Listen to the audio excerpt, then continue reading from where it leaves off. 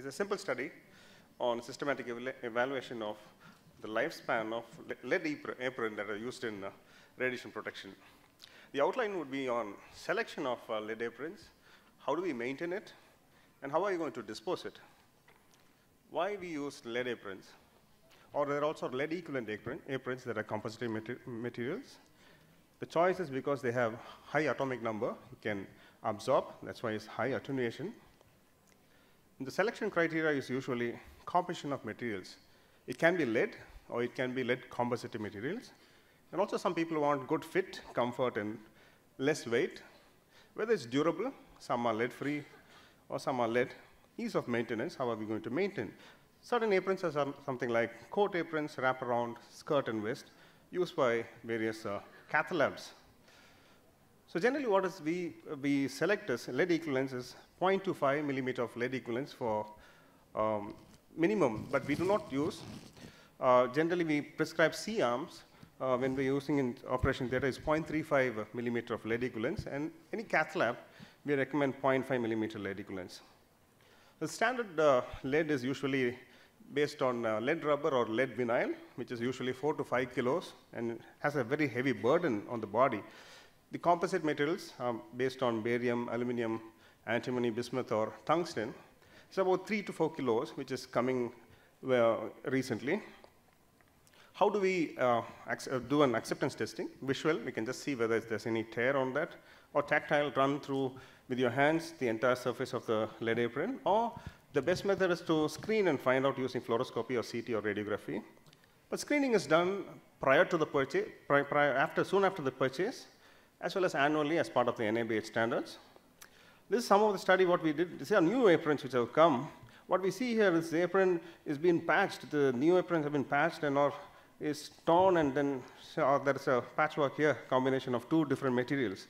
Um, these are new aprons, we return it back. But how do we know whether there's equivalent lead equivalence? We can use a ionization chamber, which will cost about two to three lakhs. Well, it's too expensive to do it. But why not? We made a small test tool, which is only 50 rupees, which is made out of copper step wedge. We took a radiograph at 100 kVp, and then took uh, pixel values uh, from the a number of lead, st lead strips which we're seeing here. These are the steps, and see which one is coordinating with each other, and find out what lead equivalence it is. It's a very simple method. And also, we need to do an inventory. We used a very another simple method, which is plastic uh, filled with contrast on this sample. And you can see the sample seen on the image. And, uh, and what are the reasons for cracks? Yes, we see from here, many places they are misusing it. And also when it keeps on this chair, something like this, we can see this cracks coming up. It'll fall out easily. That's why we need screening. Or people are sitting like this, or these are the, some of the um, uh, uh, cracks which are coming in, and also these pointed edges. So generally we need to hang it or roll it onto a um, mobile machine when we're using. Roll this, preferably, preferably it's a vinyl apron is better, or hang it good on a hanger. So we can use mild soap or detergent and hang the apron dry.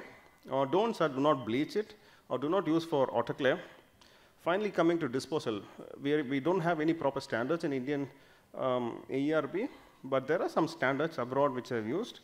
10 centimeter square, if there's an aggregate, if there's a lot of holes in the apron, in about 10 centimeter aggregate area, we can uh, just uh, discard the apron, or 0.2 centimeter on the reproductive region, or 1 centimeter square on the neck. Similarly, we have for thyroid shield also, it's 0.03 centimeter square. So the method of disposal is, first we need to identify through this same thing, whether we discarded the right apron through our inventory system, dispose through a recycling company, who can recycle lead materials, dispose by hazardous waste carrier, disposable by uh, delivering aprons to a local uh, landfill. But best thing is to contact the pollution control board and, but the good part is lead-free aprons can be disposed through hospital waste management because it doesn't contain lead. So disposal of aprons should not be regarded as a conventional waste, but as a hazardous waste. Uh, so some of these uh, references. But when we want to buy a lead apron, it has to, the, the maintenance starts right from the uh, purchase till this uh, end of this. That's the life, lifespan of the lead apron. Thank you.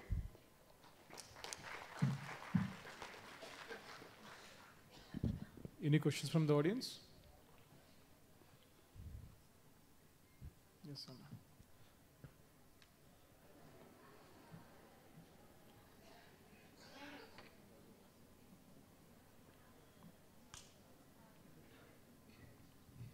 Yeah, I'm not sure um, if I've missed, uh, you know, something.